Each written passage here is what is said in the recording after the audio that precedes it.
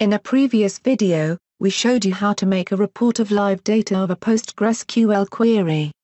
In this short vid, we will show you how to schedule this report to be sent to your email, on a schedule. This is called a cron job. Go to the report that you would like to schedule. The two relevant tabs are Current Schedule, and Current Jobs. Click Report, which is Iama's contact report.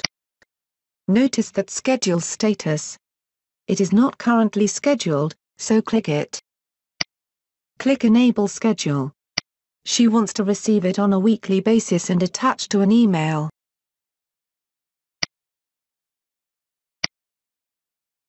She wants it to be sent only to herself, but could include other parties.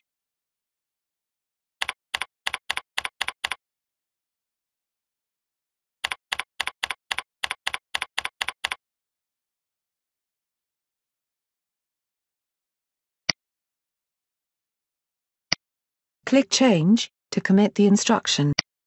Go to Reports, to confirm. There it is. Done. Now a quick look at the scheduler. The scheduler is a separate tool which can be found from the top menu. It will display any, queued cron jobs, which may include your current settings for backing up Gmail, Picasa, Google Docs and Calendar, along with any PHP action scripts that are running on a schedule.